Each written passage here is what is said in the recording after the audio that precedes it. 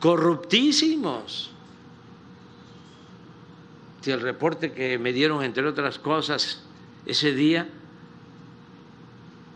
es que hubo muchísimo robo de carteras.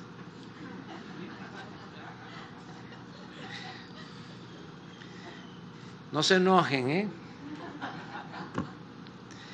Este, pero eh, sí vamos a marchar, eh, va a ir mucha gente eh, del pueblo y de todas las clases sociales, están invitados y mm, va a ser marcha, desfile, em, van a haber acarreados, pura gente que no va a saber a qué va.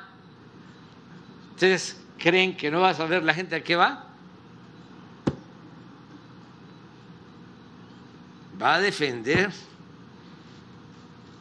sus derechos, va a defender a la cuarta transformación, va a defender su movimiento, el que han construido desde abajo, entre todos.